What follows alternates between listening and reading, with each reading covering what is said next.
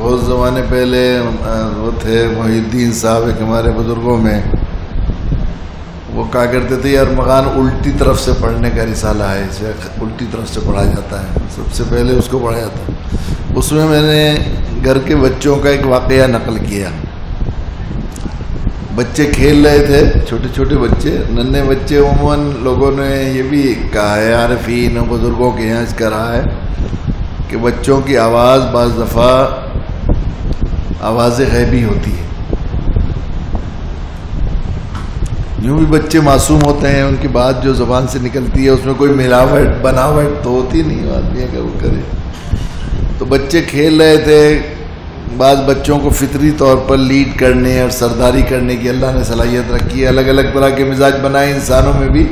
بعض لوگ ماتحت بننے کے لیے بنائے گئے ہیں، بعض لوگ حاکم بننے کے، امیر بننے کے لیے، بعض معمور بننے کے لیے بنائے اللہ تعالیٰ نے اسی طرح کے تو بچے کھیل رہے تھے، ہماری بھتیجی کی ایک بچی ہے۔ اس نے بچوں سے سوال کیا اچھا بتاؤ، ایک سوال پوچھوں، ایک بات پوچھوں، بتاؤ گے؟ کہ ہاں بتائیں گے؟ کھیلتے کھیلتے وہ کھیل رہے ہیں آپ کود رہے ہیں اچل رہے ہیں سب۔ اچانک اس نے ایک موضوع چھڑا ہے کہا کہ بتاؤ، سب سے آسان کام کیا ہے؟ پوچھا، سب سے آسان کام کیا ہے؟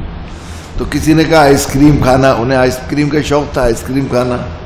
ایک نے بتایا کہ چھٹی کے دن کھیلنا، ایک نے کہا چھٹی کے دن سونا، تو اس نے کہا نہیں، اس سے آسان، جو پوچھتے رہے تو کہتے رہے اس سے سب سے آسان کام، بتاؤ، سب سے آسان کام۔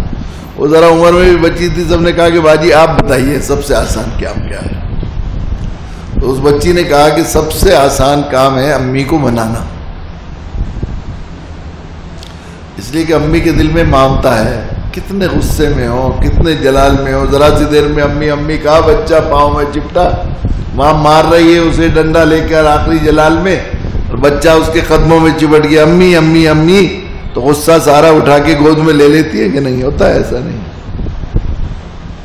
تو مجھے یہ خیال آیا کہ جب امی کا منانا اتنا آسان ہے، تو اللہ جس نے امی کو مامتا دی ہے امی کو منانا کس لیے آسان ہے کہ اللہ تعالیٰ نے اپنی رحمت کا، اپنی مامتا کے سمندر کا ایک قطرہ ساری ماؤں کو بانٹ رکھا ہے۔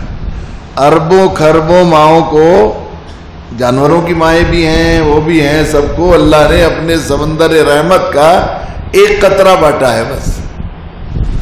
جب ایک قطرہ بانٹنے والا ملا ہے جن کو سب کو مل کر، ان کا منانا اتنا آسان ہے تو وہ جس کے پاس رحمت کا سمندر تو کہہ بھی نہیں سکتے، سمندر کی تو ایک نہایت ہوتی ہے، ایک حدود ہوتے ہیں کنارے ہوتے ہیں۔